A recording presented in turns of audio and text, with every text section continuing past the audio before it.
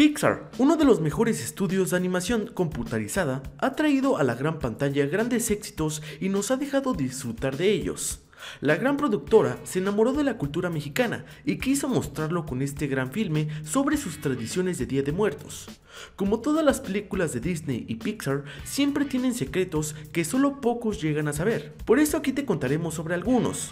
A continuación conocerás los 9 secretos de la película de Coco que Pixar escondió frente a nuestras narices.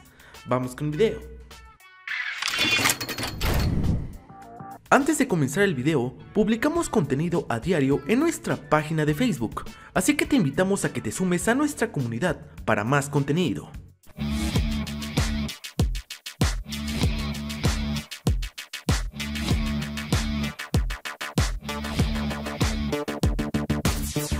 Número 1. La productora Darla Anderson y el codirector Adrián Molina visitaron diferentes ciudades de México a lo largo de cuatro años para lograr hacer un proyecto detallado sobre este país. Las regiones que visitaron fueron la Ciudad de México, Guanajuato y Pátzcuaro. La idea surgió gracias a que el director Lee Ungrich siempre se había sentido atraído por los colores mexicanos y la sensación que causa este lugar. Después tuvieron la idea de adecuar el filme a la gran celebración de Día de Muertos, el 1 y 2 de noviembre de cada año.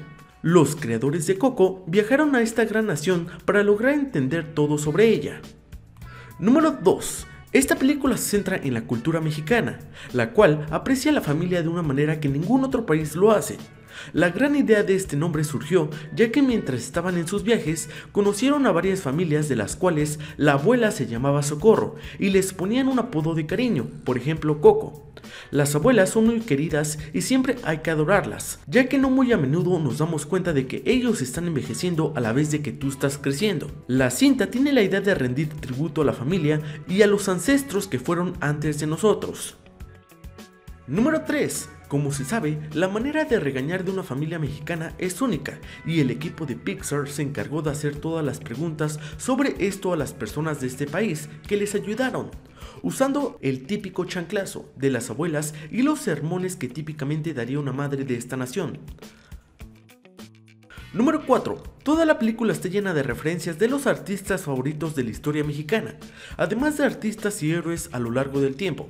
El personaje que es más antepasado de Miguel, Ernesto de la Cruz, hace referencia al estilo de cantantes que existían en los años 40 y 50. En una escena del filme es el cumpleaños de dicho individuo y aparecen entre los invitados Frida Kahlo, El Santo Pedro Infante y Cantinflas. Sin duda, aprenderás mucho de los artistas mejor conocidos en diferentes épocas de este bello país. Número 5. En todas las traducciones de la película se usaron modismos y la versión en inglés tiene mucho spanglish, que ocurre cuando alguien habla el idioma inglés y usa muchas palabras en español. Pensaron que esto le daría un giro más gracioso y ayudaría a las personas de los países como Estados Unidos, Reino Unido y Nueva Zelanda estuvieran más atraídos a verla. En el gran elenco participó Gael García como Héctor, quien es un muerto que ayuda a Miguel en la Tierra de los Muertos. Número 6. Se usó un estilo de música típico de México combinado con el sonido clásico de Disney. El trama de la película se centra mucho en la música y muestra un estilo que se veía en los años 40 y 50.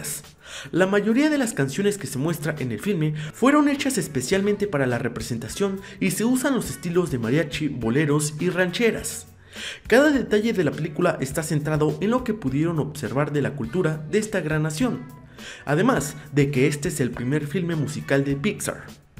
Número 7. Miguel y su compañero perruno Dante van a la Tierra de los Muertos juntos, y no es simplemente un perro chistoso que pusieron como personaje.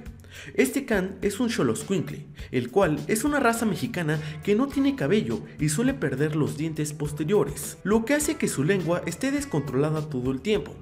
Según los mexicas, esta raza guiaba a las almas a través del Mictlán, al mundo de los muertos. Número 8. Se dice que los productores esperaban que la gente salga inspirada después de ver esta gran película en dos cosas. El primero, aprender a tocar algún instrumento musical, ya que la música siempre será súper importante en la vida. El segundo, ganas de hablar con tu madre sobre tus antepasados y valorar a la familia como antes no lo hacías.